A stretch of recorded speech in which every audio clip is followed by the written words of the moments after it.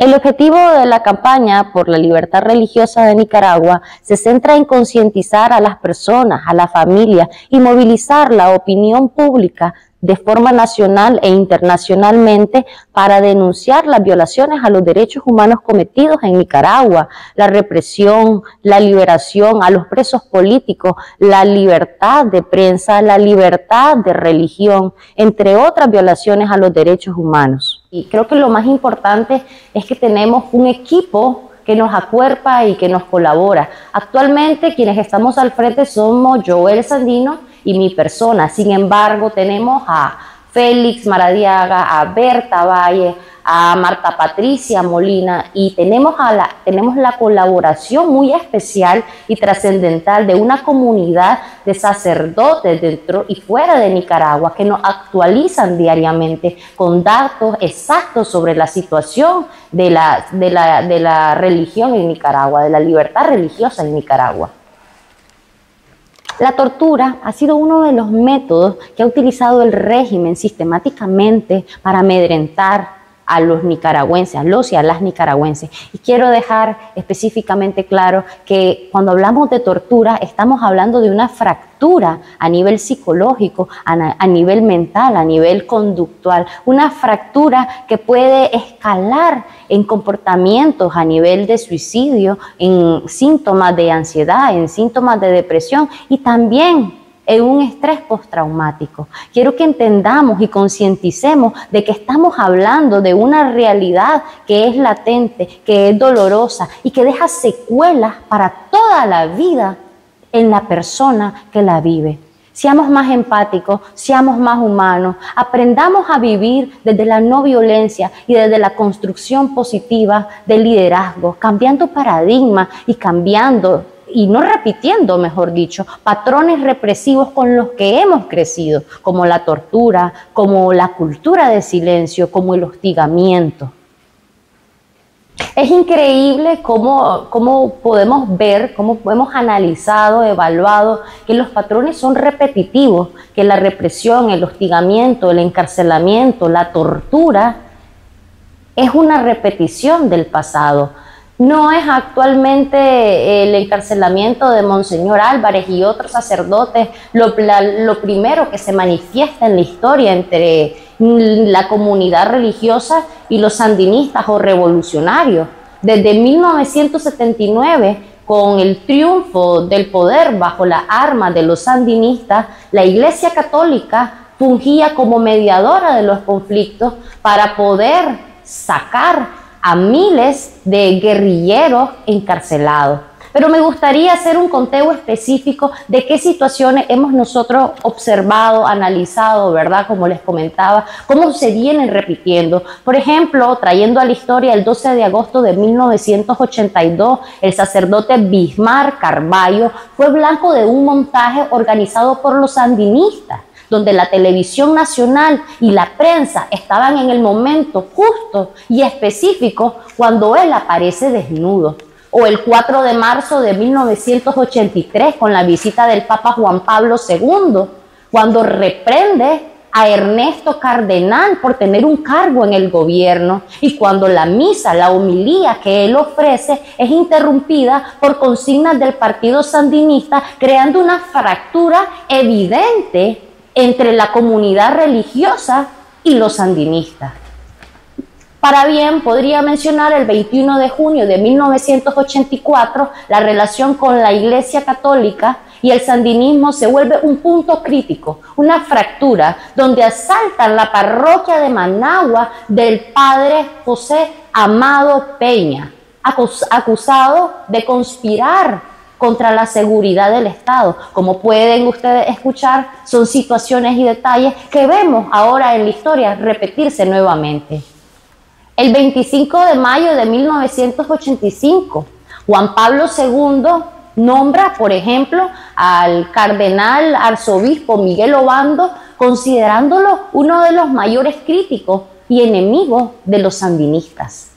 O bien podría mencionarle el 4 de julio de 1986, cuando el obispo de Chontales, Monseñor Pablo Antonio Vega, fue secuestrado y abandonado en las montañas de Honduras por denunciar en Washington el asesinato de varios laicos y otros crímenes que atribuyó al gobierno de Ortega. Y por esto le quitaron el derecho de estar en su país, lo desterraron, como vemos actualmente ese tipo de situaciones, ¿verdad? Ese tipo de patrones. Podría seguir con el 17 de octubre de 1996, tres días antes de las elecciones, cuando Obando realizó la homilía donde se refería a la parábola de la, víbora, haciendo alusión a Ortega, lo que ocasionó una derrota visible, evidente en las urnas.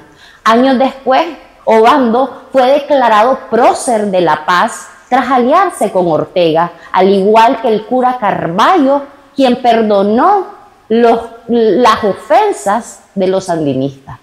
Remontémonos ahora a abril del 2018. Sin la presencia del cardenal Obando, la Iglesia Católica denuncia una vez más la represión en Nicaragua, desatada por supuesto por Ortega contra una serie de manifestaciones que estallaron en el país. 10 de julio del 2018. Ortega inicia una cruzada contra obispos, llamándolos golpistas y acusándolos de formar un golpe de Estado en Nicaragua. Varios, obispos fueron golpeados por paramilitares, por policía, en la Basílica Menor de Diriamba. Uno de ellos fue el nuncio apostólico Waldemar Stanislao. Así también el 31 de julio del 2020, sandinistas atacan la imagen de la sangre de Cristo en la Catedral de Managua, imagen que era venerada por los católicos desde 1636 en un incendio en el que nadie fue culpable, pero que sabemos los nicaragüenses que sí existe un culpable y que es la dictadura de Ortega Murillo. Agosto del año 2022. Murillo lanza insultos contra obispos en su papel de vocera oficial del régimen, como ustedes saben. Se dan ataques armados a templos, cierres a medios católicos de comunicación, expulsión de órdenes religiosas, prohibición de misas y procesiones, vigilancia policial en las iglesias, arrestos a sacerdotes, tortura, destierro. ¿Les parece y ustedes reconocen cómo se repite el patrón, la historia del pasado en este presente? Y esto sucede porque cuando no aceptamos, no reparamos un pasado, estamos condenados a repetirlo.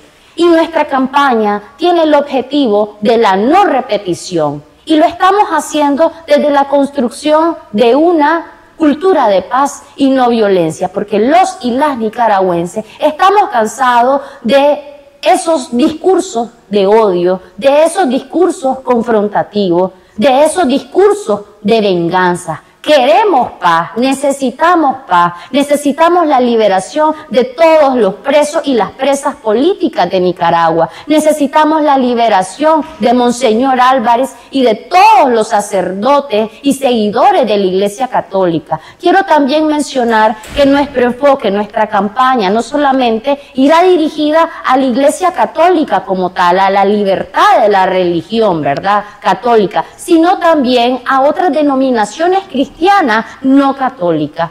Además, quería comentarles que estamos trabajando en un diseño dentro de la misma campaña de petición de firmas para Monseñor Álvarez. Asimismo, quisiera comentar, aprovecho este momento para decir que Monseñor Álvarez ha sido nominado al premio Sarajov de la Unión Europea que se le concede a las personas que han dedicado su vida a la libertad de conciencia, a la defensa de los derechos humanos. Y ese es Monseñor Álvarez. Por eso el día de hoy que hablo de nuestra campaña, quisiera invitarles y pedirles a todos y a todas ustedes que puedan acompañarnos, visibilizando, denunciando, pero sobre todo siendo conscientes de la realidad que vive la religión en Nicaragua, de la realidad que viven los jóvenes, los niños, los campesinos, los estudiantes, los líderes, los activistas, los defensores, que vive en general el pueblo de Nicaragua, porque somos todos.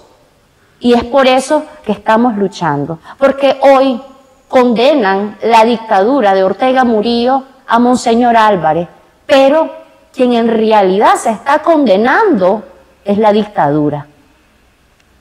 Entre las estrategias que queremos comentarle, que estamos utilizando para la campaña de libertad religiosa en Nicaragua, está la colaboración con líderes de gran relevancia a nivel internacional, líderes activistas, defensores de derechos humanos y una comunidad religiosa extrema a nivel internacional. Pero asimismo también estamos buscando la ampliación eh, de los informes de libertad religiosa, pero no solamente de denominaciones católicas, sino también de otras denominaciones.